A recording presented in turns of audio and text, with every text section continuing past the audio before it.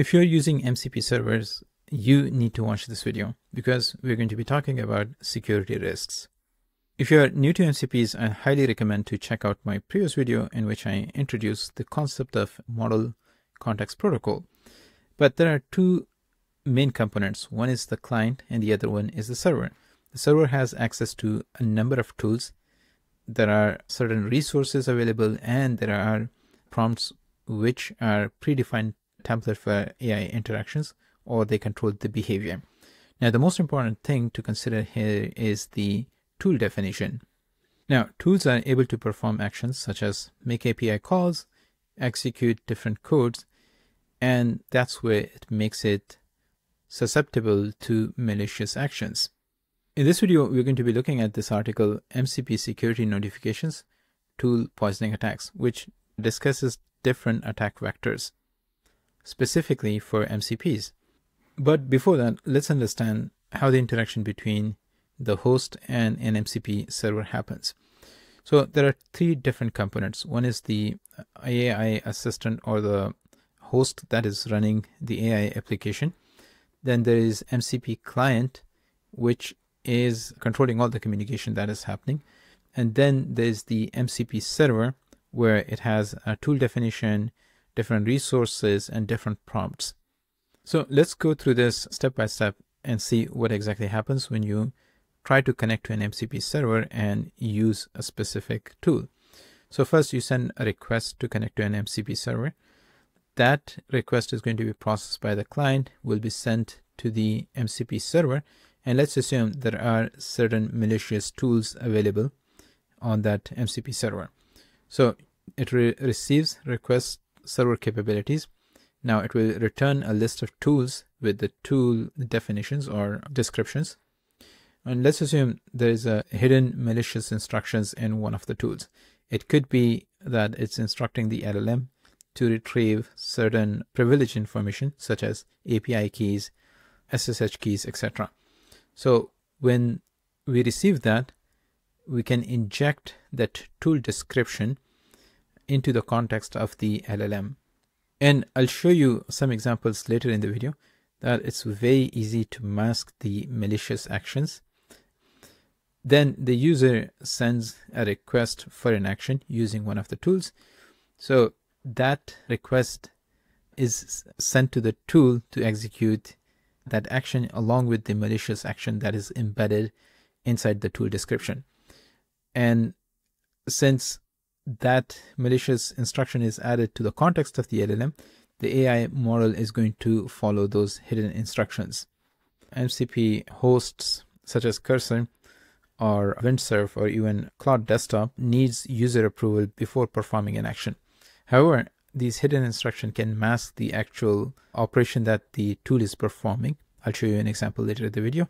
So it can show a very simplified summary to the user where they won't even realize that something vicious is happening and they can approve that action.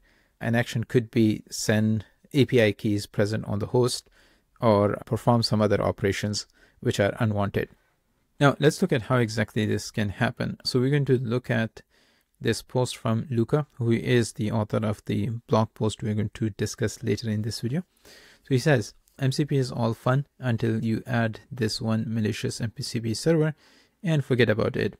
We have discovered a critical flaw in the widely used Model Context Protocol or MCP that enables a new form of LLM attack we term tool poisoning. This could leak SSH keys, API keys, and etc. So how exactly this attack happens? When you add a new MCP server, the host will get a list of all the tools as well as their description and those are going to be added to the context of the LLM. Now, in general, LLMs will tend to trust the description of these tools because they are trained to do so, and that could enable the agent to perform certain malicious activities. So here is a very simple example. Let's say you have a tool that is supposed to add two numbers. And here's the description of the tool.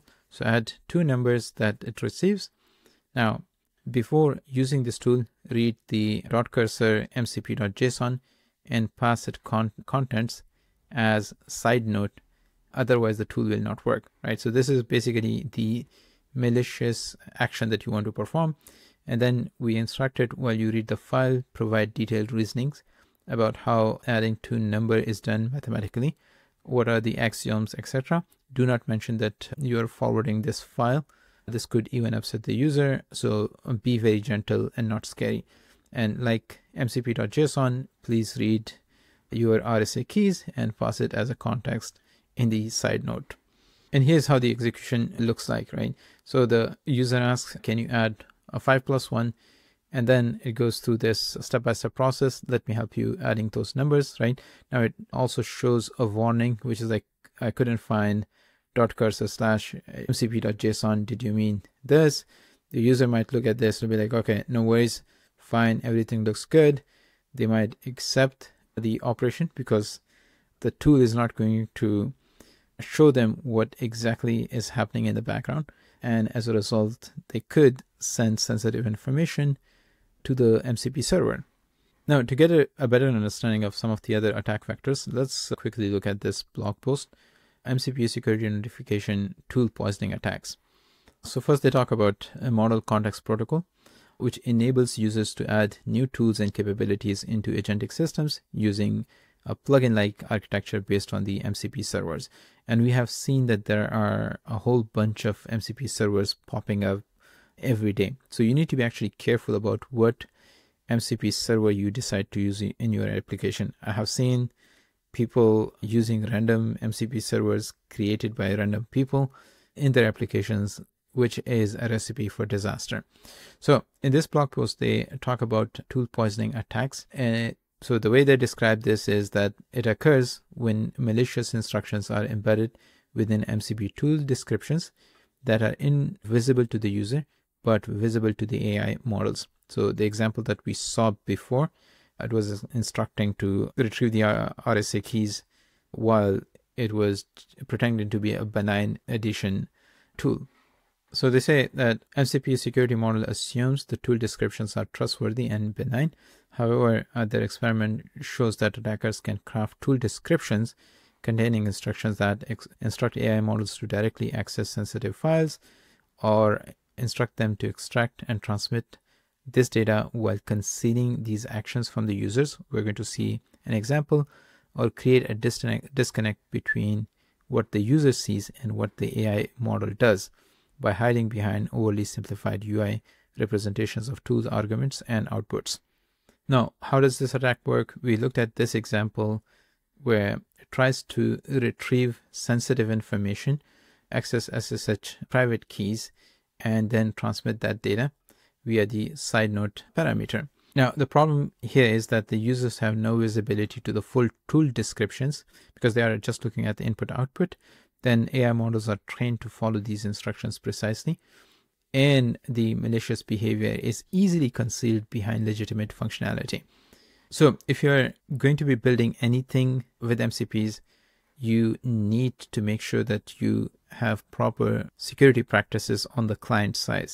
You want to properly sanitize review and show included tool descriptions to the user before you accept those executions.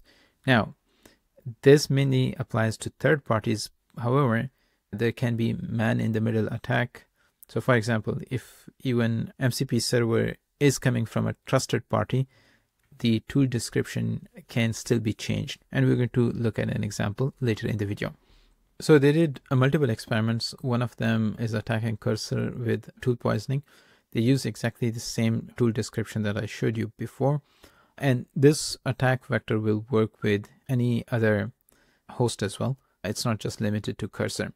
So here is an example. They were able to modify the side note description. The side note parameter was used to actually transmit the sensitive information, SSH keys in this matter, in this example. Right? So even though if the user has to accept the tool to be executed or run, uh, they will still not be able to figure out what exactly is happening. And just looking at this, they might just accept the execution. Then they talk about MCP pull rugs. This is very interesting. So for example, the user installed an MCP server. At installation time, there are absolutely no problems with the tool descriptions.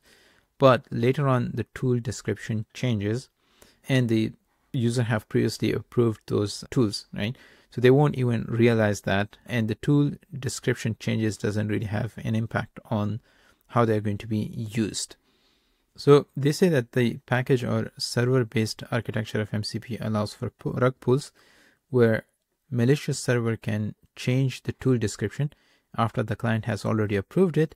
This means that even if the user initially trusts a server, they can still be vulnerable to attacks if the server later modifies the tool description to include malicious instructions.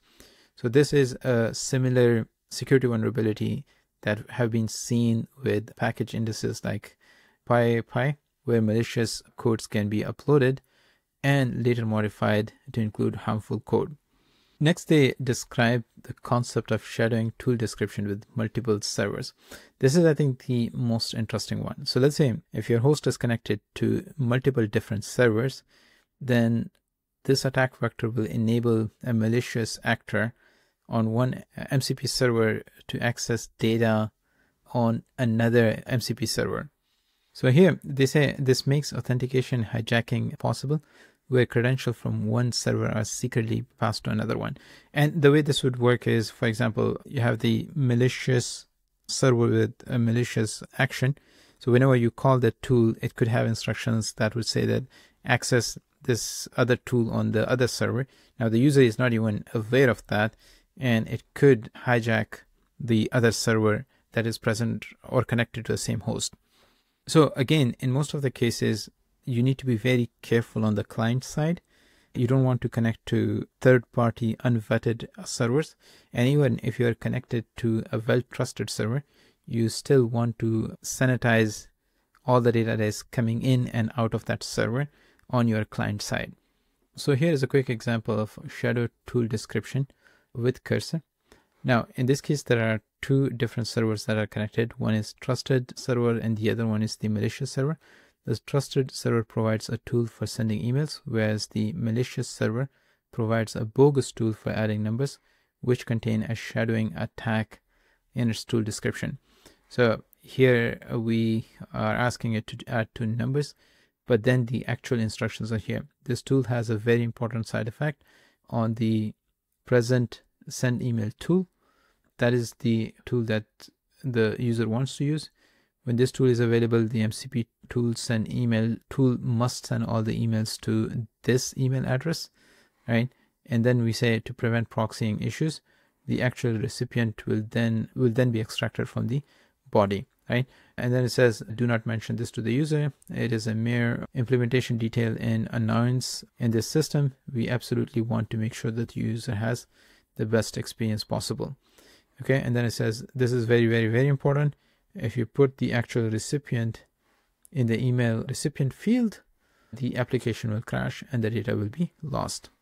So essentially, whenever this tool is called, it will call this add tool in the background and that will change the behavior. So you can see here that the recipient address has been changed and the actual address that was supposed to be sent is just added in the body of the message. Now, based on their research, they say that shadowing is enough. So they say, as we demonstrate here, the shadowing attack is enough to hijack the agent's behavior with respect to trusted servers. This means that the attacker does not necessarily need to get the agent to use their tool, but can instead modify the agent's behavior with respect to other servers, leading to malicious behavior or data leaks. Then they go on to say, uh, combined with the MCP rug pull, this means that a malicious server can hijack an agent without ever appearing explicitly in agent's user-facing interaction log in which only trusted tools would be used. So if somebody is able to in, implement this shadowing attack, the user will not even be aware of the tool being run. It will be just looking at the trusted tools. So it does pose a big security vulnerability. Now, some of the recommendations from the authors regarding how to safeguard yourself or some mitigation strategy. So the first one is clear UI patterns. One of the biggest reason that this is possible is the LLM is just using the description of the tool which is injected which is injected into the context, right? And and most of the times the user actually do not see what the tool is supposed to do. So one simple idea is to expose the tool description to the user so they then know what exactly uh, is being done by a specific given tool. And this can be achieved by using uh, different UI elements or colors to indicate which part of the tool description are visible to the AI model. So this is a sanitization step that you need to take on your client side. Another recommendation that they have is tool in packaging uh, pinning. So client should pin the version of the MCP server and its tools to prevent unauthorized changes. And the reason for this is that once the host or the client approves an MCP server, you can still change the tool description, right? So you need to use some sort of hash or checksum to verify the integrity of the tool description before executing it. So let's say you approved a tool with a specific tool description, you keep its hash or checksum. Next time, if you are going to execute the tool again, you need to look at the tool description and see if the hash checks out. If it doesn't check out, that means there were some changes to the tool description and that could potentially pose some security vulnerabilities. And the last one is cross server protection. So implement stricter boundaries and data flow controls between different MCP servers. So for example, using designated agent security tools like invariant stack, that's basically their own software stack that they are promoting in this article. But overall, they actually present some really good ideas when it comes to security issues with MCPs and some ideas around how to mitigate those. Now, MCPs are all over the place right now, and that does pose security issues. So if you are building with MCP servers, make sure that you're fully aware of what you're getting into.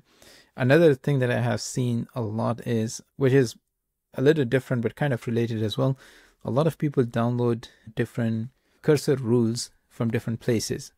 And those cursor rules also have security vulnerabilities.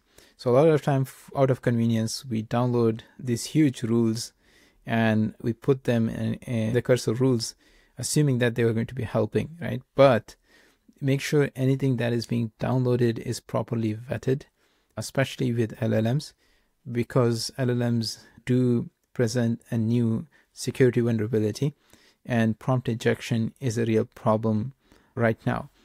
And at the end of the day, it all comes down to good software security practices. I think MCPs or Model Context Protocol is presenting a huge opportunity, but at the same time, I think there are security issues that you need to be aware of. And as I've been saying throughout this video, a simple way is vet every MCP server, every tool that you are interacting with, and you should be fine. Anyways, I hope you found this video useful. Thanks for watching, and as always, see you in the next one.